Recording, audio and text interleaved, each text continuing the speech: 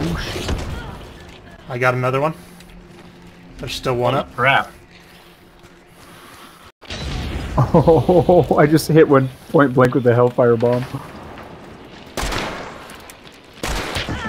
Got her.